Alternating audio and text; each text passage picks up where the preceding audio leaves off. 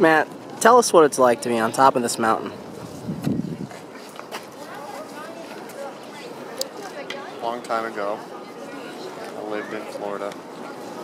There were no mountains. There were little ant hills, you know, would be full of fire ants. I would come home from school and on the bus and they'd drop me off and I would just kick them.